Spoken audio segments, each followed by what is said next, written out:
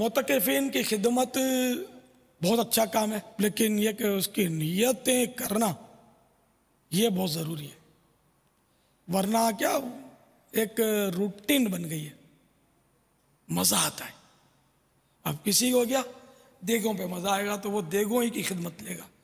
किसी को वो दरिया बिछाने में मज़ा आएगा, उसमें वो हर साल फिर उसकी वो लगी बंदी खिदमत है। किसी की कोई खिदमत, किसी की कोई खिदमत। तो यानी कि एक होता है, मज़ा आता है। तो अब ये कि मज़ा आता है, इसलिए अगर काम करते हैं तो मज़ा आया, नहीं आया, आपके नसीब सवाब नहीं मिलेगा। तो इसलिए वो नीयत करें कि हम मुसलमानों की दिलजुई करेंगे। मोतकफ़िन मुसलमान होते हैं। कि एहतिकाफ तो है ही मुसलमान के लिए।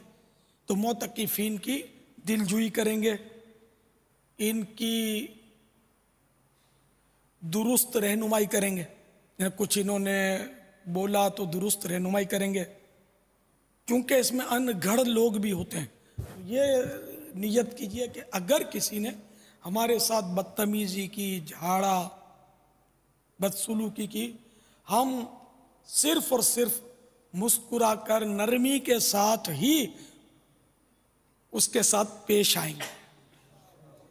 ये खसूस हमारे खादमीन जो अगर ये मौजूद हों, हारसिन खादमीन का जो तबका है, इनको बहुत ज़रूरत पड़ती होगी इसकी कि ये आते अनगढ़ ओए, अबे, अड़े, करते होंगे। मैं इनके साथ हम अड़े, अबे करेंगे तो ये खुदा ना खास्ता ये कि नमाज़ भी छोड़ देंगे। तो इसलिए इनको प्यार से, मोहब्बत से ये आम मदनी फूल है। अगर इस मदनी फूल पर आप लोगों ने अमल कर लिया तो इन मस्जिद भरो तहरीक को मदीने के बारह चाँद लग जाएँगे। इन